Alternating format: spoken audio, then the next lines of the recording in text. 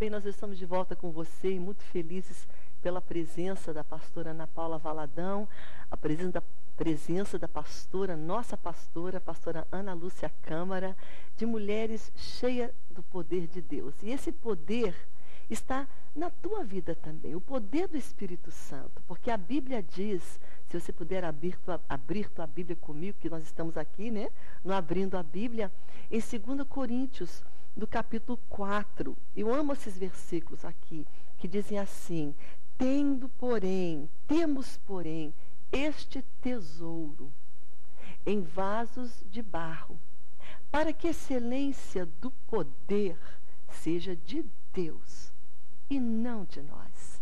Olha que tremendo essa palavra escrita pelo apóstolo Paulo, mas é inspirado pelo próprio Espírito Santo de Deus, dizendo: Nós temos este tesouro. E aonde que esse tesouro habita?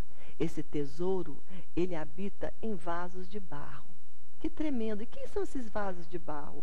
Você e eu. Para que nós entendamos que toda a glória, todo tudo que é bom, toda a luz, toda a beleza, tudo que é verdade, tudo que é maravilhoso, se alguém te elogia, te acha tão maravilhoso, você pode dizer, é por causa da presença do tesouro, chamado Espírito Santo. É Deus. E ele mora neste, neste vaso de barro que é você e eu. Tremendo isso, né? Você é um carregador do tesouro, da glória de Deus, que habita dentro de você. Agora é interessante essa passagem, porque quando você vê esse pensamento, que esse tesouro está dentro deste lugar, você pensaria, um tesouro, ele é guardado, quem sabe, num lugar muito de excelência, numa caixa, numa, numa, num, num porta-joias, né? ele é colocado em algo assim muito, muito valioso. Mas nós somos um vasinho de barro. E esse tesouro escolheu viver neste, neste, nessa fragilidade que é você e eu. Pessoas que erram, que são falhas, que são exatamente isso, pó, que são feitas do barro, para que a excelência do poder venha dele e não de nós. Nós precisamos todos os dias estarmos cientes disso. O problema, às vezes, com a gente chama-se orgulho. Quando nós começamos a achar que nós temos tanta capacidade, tanto talento, tanta luz própria, tanto isso e tanto aquilo, que nós esquecemos a origem de toda de todos os benefícios, de toda coisa boa que está em nós. É por causa da presença de Deus. Para que a excelência do que? Do poder seja dele, sempre dele, para ele, nele e por ele, e não de nós. Então que hoje o Espírito Santo venha falar ao teu coração, como ele está falando comigo agora, me dizendo que todos os dias eu tenho que reconhecer a origem da minha força, a fonte da minha alegria. A origem de tudo que é bom, de todo o poder de autoridade que Ele pode ter me dado, que a unção, a graça, o amor, tudo tem origem, é nele, para que a excelência do poder seja dele e não meu, nada meu, tudo dele. Mas isso nós temos que reconhecer. Porque há algo dentro de nós que nos puxa ao não reconhecimento disso. Há algo dentro de nós, de você e de mim, chamado o orgulho, que vai querer que a gente comece a pensar que a gente pode, que a gente é, que a gente tem, que nós, sabe, estamos ali, talvez numa posição, ou Deus nos colocou diante de um trabalho e você está ali com um ministério, sabe, aqui eu estou com o ministério da palavra. Mas eu tenho que entender todos os dias que o tesouro é Ele. E toda a força que eu tenho vem dele. Agora, é interessante nessa passagem que essa excelência desse tesouro, você pensaria, bem, então, já que o tesouro mora dentro de mim, eu estou é, imune a qualquer tipo de, de desavença, afrontas, maldades, perigos, dificuldades, estou totalmente imune a tribulações. Mas não é bem assim. Se você ler a segunda parte desse versículo, na realidade, são três versículos. O primeiro, que é o versículo 7 de 2 Coríntios, capítulo 4, diz assim: Temos, porém, este tesouro em vaso de barro, para que a excelência do poder seja de Deus e não nosso. E já na segunda, em sequência, diz assim: Em tudo somos atribulados. Em tudo, nas nossas finanças, no, nosso andar com Deus, o inimigo vai querer nos atribular. Nos nossos relacionamentos, aqueles mais importantes, que é o nosso casamento, que é com os nossos filhos, que é com pessoas que nós amamos, até mesmo com nossos irmãos na igreja. Até mesmo com pessoas que nós amamos.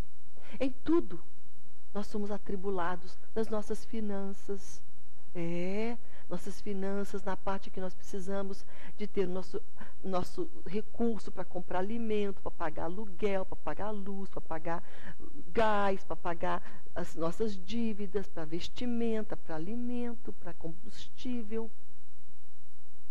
Nós somos atribulados em tudo. Todas as áreas da nossa vida chega um momento de tribulação, mas por causa, lembra-se que temos um tesouro que é o próprio Deus, a presença do Espírito Santo de Deus. Deus mora em nós. Então, porque Ele está em mim, olha o que diz: eu sou tribulada, porém não angustiada. Eu posso ter todas essas, essas, essas ah, é, tribulações, mas Deus vai me guardar de não me angustiar, porque o tesouro está em mim. Mas aí ele continua dizendo: Eu sou perplexo. Claro que a gente fica perplexo. Ficamos perplexos por dificuldades que vêm quando você menos espera e do lugar onde você menos espera também. De pessoas que você menos espera. De repente você está tão bem e ali alguém te decepciona, alguém te trai, alguém mente, alguém te fere. Uma situação que estava indo tão bem, daqui a pouco ela não vai bem. Você está tão bem no teu emprego, daqui a pouco você perde aquele emprego. Você está tão bem, talvez, numa, numa situação, daqui a pouco está desestabilizado, não está mais daquele jeito, você fica perplexo. Todos os dias algo vai nos fazer ficar perplexo mas por causa da presença do tesouro em você. Você pode ficar perplexo, mas não desanimado. Você não vai desanimar. Você vai continuar. Você vai continuar servindo Deus, amando Deus, buscando Deus, congregando na, na palavra dele, na igreja, na casa dele. Você não vai jogar tudo por, por alto, para cima, porque você está perplexo. Você não vai desanimar por causa da presença de Deus na tua vida. Deus te garante a continuar. Deus te garante, mesmo que você esteja sendo atribulado, a você não se angustiar, mas a você continuar, a você perseverar. E aí, diz mais para nós: nós podemos ser também perseguidos. Quem não é perseguido?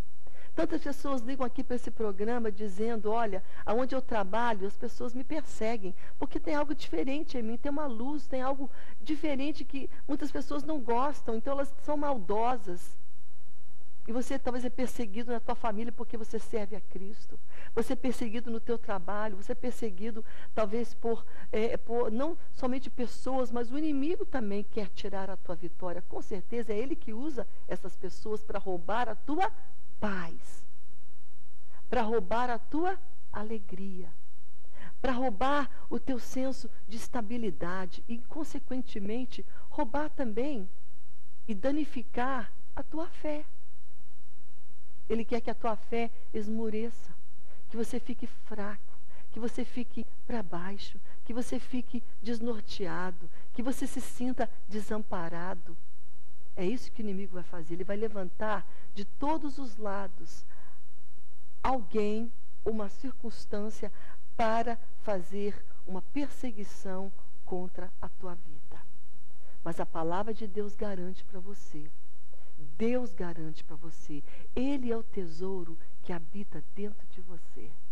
Ele é que te dá o valor que você tem. E ele diz para você hoje: você pode estar se sentindo perseguido, você pode estar se sentindo é, atribulado, mas não angustiado. Pode se sentir perplexo, mas não desanimado. Você pode estar sendo perseguido, porém você não vai estar sendo desamparado. Deus não vai te desamparar em nenhum momento. A presença do Espírito Santo te acompanha. Ele fala: Eis que estou com você até a consumação dos séculos. Hoje essa palavra é para você que está se sentindo só. Deus está falando para você: jamais te desampararei, jamais te deixarei. Eu estou contigo, eu ando contigo, diz o Senhor.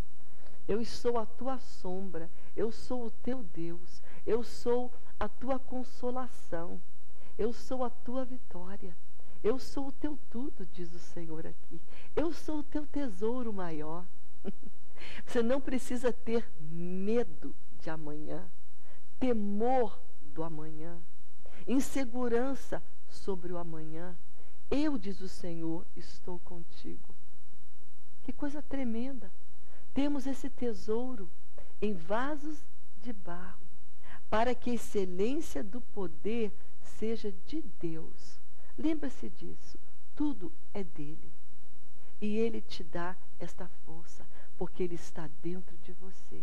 Portanto, se você hoje se sente atribulado, você pode sentir. A Bíblia fala que em tudo nós somos mesmo. Jesus falou: Neste mundo tereis aflições, ele já nos avisou. Este mundo vai ter dor, vai ter decepção, vai ter momentos de choro, vai ter momentos que você vai querer entregar tudo, jogar tudo para o alto. Vão, isso vai acontecer, sem sombra de dúvida. Mas o Senhor também te garante algo. O Senhor também te, te diz algo. O Senhor também é fiel na tua vida, porque você tem este Deus dentro de você. E se hoje você não tem esse tesouro, eu vou te fazer um convite. Nós vamos orar daqui a pouco. Lhe convidar para aceitar ter Jesus na tua vida. Ele morreu para que, você, que ele, para que ele pudesse fazer isso. Ser esse tesouro na tua vida. Por isso que ele veio. Ele veio para te salvar. Para que você, na hora da tua tribulação, você pudesse dizer: Em tudo eu sou tribulado, porém, eu não sou angustiada, porque Deus me garante paz, segurança, estabilidade espiritual, emocional, física, em todos os sentidos. Então, quando você tem esse Jesus maravilhoso, esse tesouro na tua vida, você vai passar sim por tudo isso, mas você vai ter a presença dele que te garante a estabilidade, a paz, a segurança, e você pode também estar sendo perplexo, ficando perplexo por algo que está acontecendo, por situações que fogem do teu controle, porque o que a gente gosta é de ter controle. Gostamos de controlar a nossa casa, controlar o alimento, controlar a nossa vida, se a gente não cuidar, controlar também dos que estão em volta da gente que até um certo ponto é normal, nossos filhos, mas até um ponto, porque eles também têm a vida própria, especialmente quando eles crescem, quando eles casam. Então a gente quer controlar, a gente quer estar, sabe, tudo está dentro do, do meu alcance, da minha ordem, mas a vida não é assim. As coisas fogem do nosso alcance, do nosso controle, da nossa segurança. E quando isso acontece, você pode ficar perplexo, perplexo, porém nunca desanimado. A Bíblia fala que você vai ser perseguido, porém não desamparado. E eu deixei o melhor por último, que é esse versículo aqui que diz assim: porém não desamparado, abatidos. Quem nunca esteve ou se sentiu abatido? Eu já. Muitas vezes eu já me senti por causa da dor de um problema, da dor de uma circunstância, da dor de uma afronta, de uma desonra, de um problema físico, da saúde, um problema financeiro, um problema de relacionamento. Quantas vezes eu me senti abatida? Aquela dor, aquele, aquela dificuldade me abateu, abateu meu espírito, abateu o meu coração, abateu a minha fé. Nós podemos sentir abatido. Isso não é pecado, não. Isso é normal. Isso é humano. Sentir perplexidade, sentir-se atribulado, sentir-se perseguido e sentir-se abatido. Nós somos carne, ninguém aqui é super alguma coisa. Nós somos carne. Nós podemos nos sentir abatidos, mas a Bíblia, a palavra do Senhor diz: eu posso me sentir abatida, porém não destruída. São duas coisas diferentes. Eu posso estar me sentindo abatida por uma circunstância, mas jamais serei destruída por ela. Por isso eu fico triste quando pessoas falam: ah, aquela dor aquela desgraça, aquele problema, acabou com tudo, destruiu a minha vida. A minha não. Pode ser muitas dores que vêm me abalar, mas se Deus está na minha vida, se o tesouro habita em mim, eu sou indestrutível. Essa carne pode morrer. Isso aqui pode, isso aqui vai morrer um dia. Mas a minha alma, o meu espírito viverá na presença daquele que já habita em mim, que é o tesouro. Amém? Então eu posso ser abatida, mas eu não serei destruída, porque o tesouro garante a minha preservação. Ele garante que eu não serei destruída. Amém? Então hoje, entenda isso. Entenda que você é carregador da presença de Deus. O Espírito Santo está em ti. Você tem esse tesouro. E ele está ansioso para você reconhecê-lo. E se você está hoje superando algo, louve ele, agradeça a ele, levante tuas mãos e louve o nome dele, engrandeça a ele, cante a ele e diga obrigado, tesouro. Eu estou superando, eu estou de pé, eu, eu fui perplexa, eu fui, sabe, é, é, perseguida, eu me senti atribulada, eu me senti abatida, mas eu estou de pé, porque tu, Senhor, tu, Espírito Santo, tu, Deus, tu que és o meu tesouro, mora dentro de mim e me garante essa estabilidade, me garante esta firmeza.